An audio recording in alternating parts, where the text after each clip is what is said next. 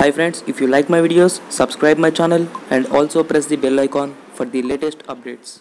Thank you. So in this video, let us discuss about the structure and the functions of human brain. So normally you know about the brain, right? It is a site of information where it helps in the processing and control and processing is nothing but the type of information which you carry out and control is nothing but uh, you know controlling the human body human system okay and that's the main function of the brain and normally this brain is protected in the cranial cavity by the three cranial meninges and the three meninges are meninges is nothing but membranes.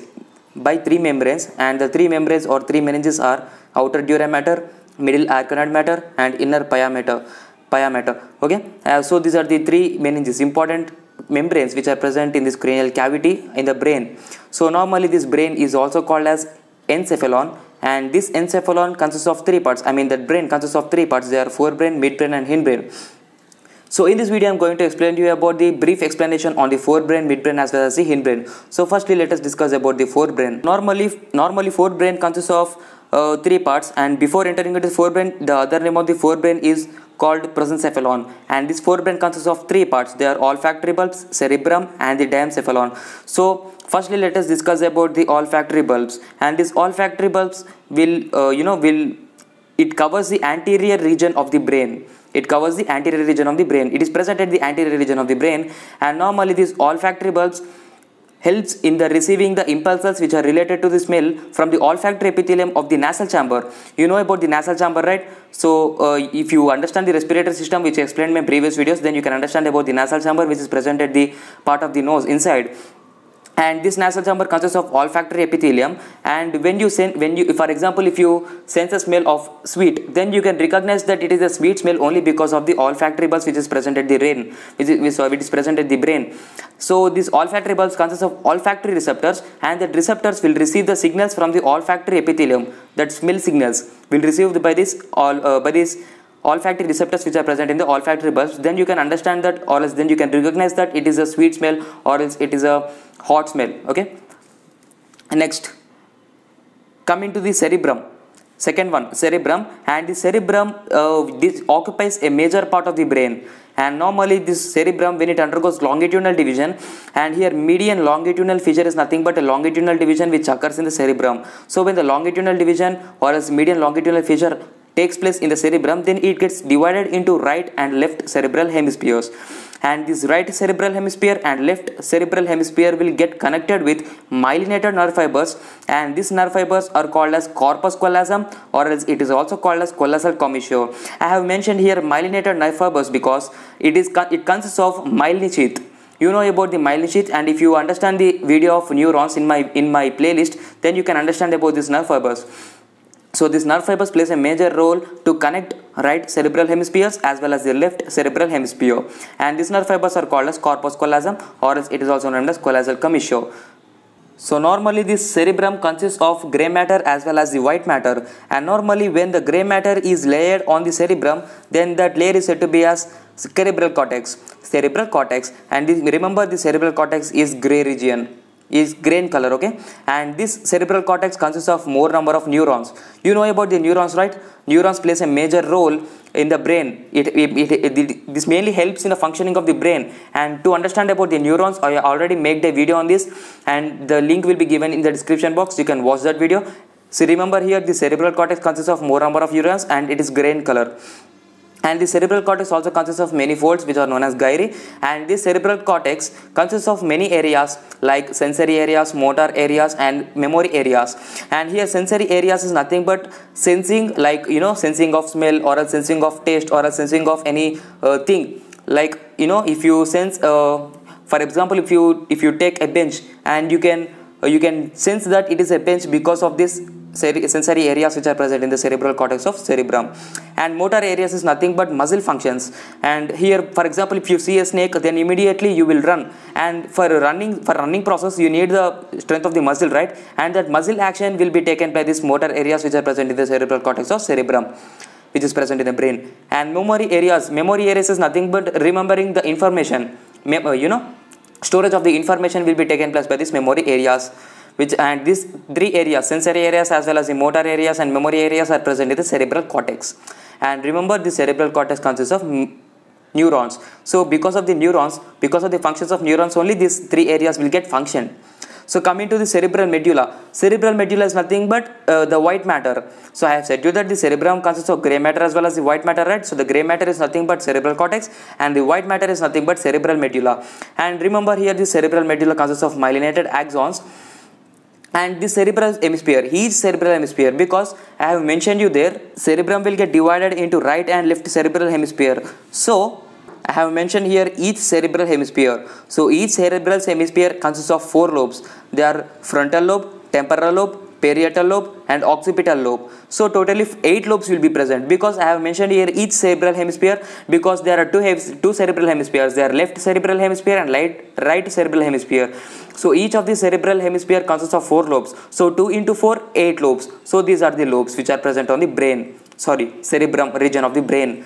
So coming to the third region which is known as diencephalon. So we have discussed this four forebrain consists of three parts. They are olfactory bulbs, cerebrum and the diencephalon. So we completed about the olfactory bulbs and we completed about the cerebrum. So now let us discuss about the dance. So if you see in the diagram of the brain, these are the lobes, frontal lobe, parietal lobe, occipital lobe and if you see here this parietal lobe and occipital lobe will get connected with parietal occipital sulcus. Okay.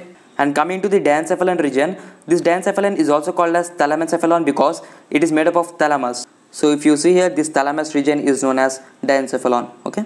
And this diencephalon region is get divided into three main parts. They are epithalamus, thalamus and hypothalamus based upon the thalamus okay and coming to this epithalamus this epithalamus it covers the roof of the diencephalon roof region i mean upper region of the diencephalon okay? So this is non-nervous because uh, because there are neurons are absent. Neurons are absent in this epithalamus region of diencephalon and these are fused with pia mater so pia mater is nothing but i have said you in the introduction part it consists of three membrane legs. In the beginning itself i have said you right out, outer dura mater middle arachnoid matter and inner pia mater so this will be fused with the pia okay so this epithalamus will be fused with pia mater and when it fused with pia mater then it forms anterior choroid plexus.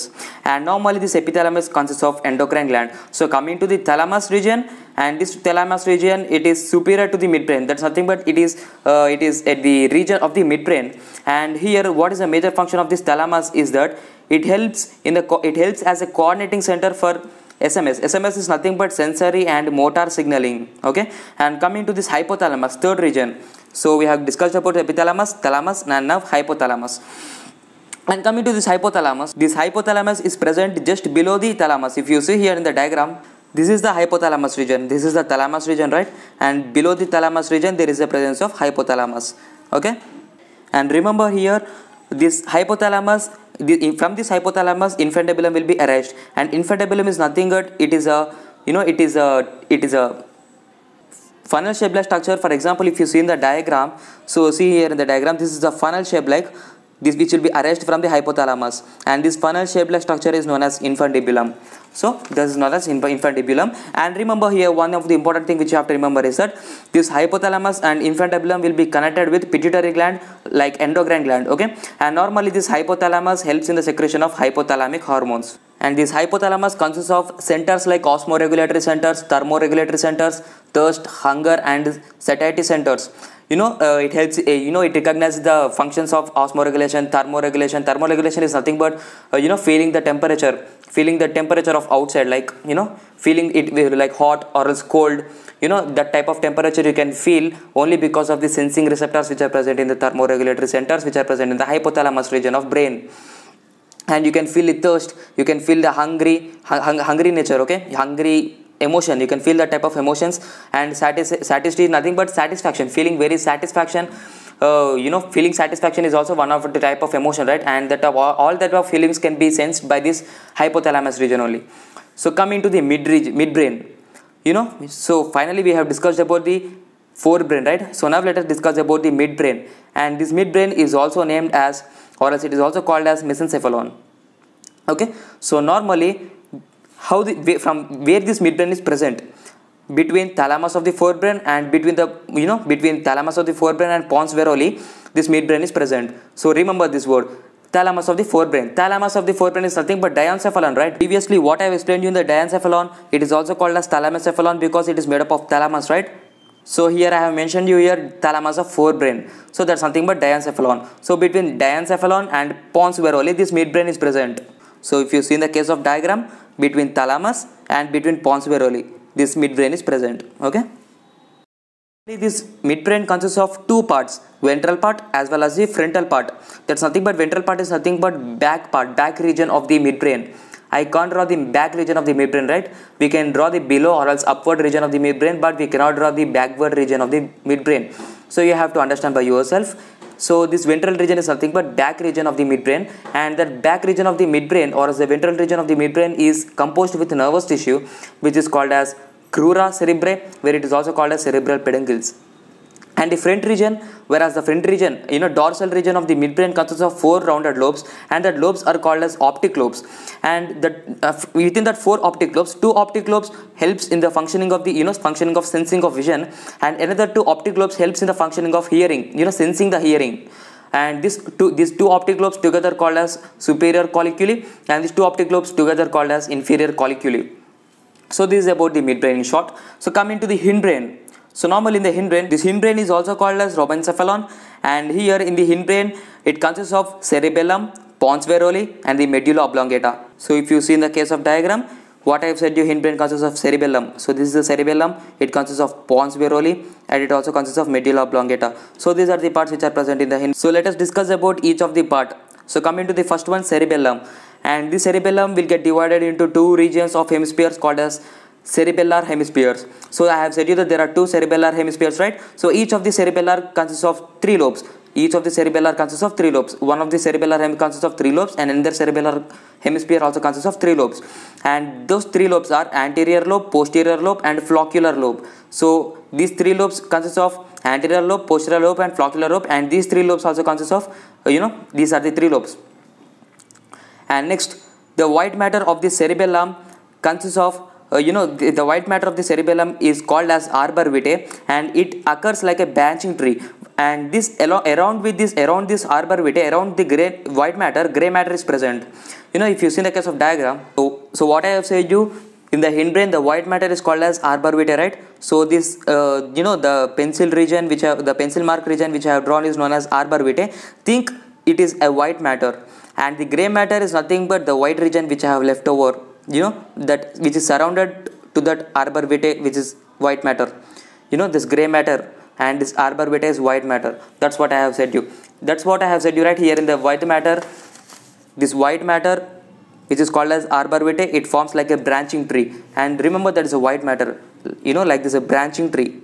It occurs like a branching tree and that is called as arbor vitae. So this arbor vitae is surrounded with a gray matter. This remaining region which i have left over is known as gray matter so this is about the cerebellum. So now let us discuss about the pons so coming to about the pons varolii normally this pons varolii consists of transverse nerve fibers. It consists of transverse nerve fibers. What is the main function of the transverse nerve fibers? It mainly helps to connect each of the cerebellar hemisphere.